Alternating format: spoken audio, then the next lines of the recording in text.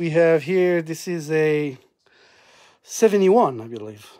73. 73 Les Paul Yeah. custom. And I mean, it is what it is. And the thing is, like, guys, it's got the pancake layer. See that? Pancake.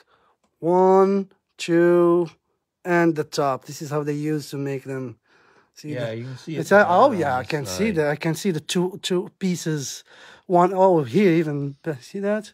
Yeah, see, see that? see yeah? the you can see it's got an indentation. yeah, yeah, absolutely. How's that? Oh yeah, perfect. yeah, now you can see it Uh, you can see the two pieces pancake.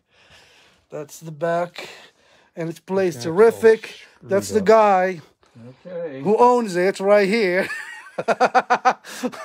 and he does not. Uh, so the P90 was added. That's an old P90.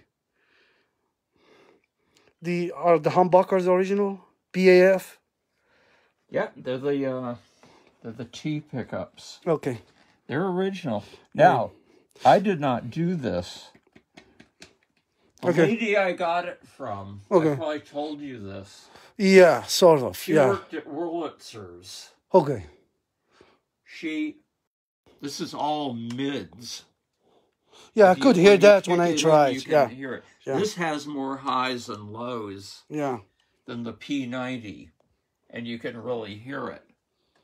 So she had this added by whoever does the work at Wurlitzer's.